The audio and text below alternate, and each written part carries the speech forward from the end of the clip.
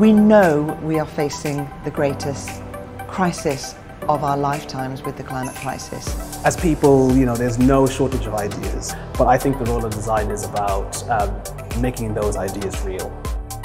The risk is that we continue just talking about it and not doing uh, a lot about it.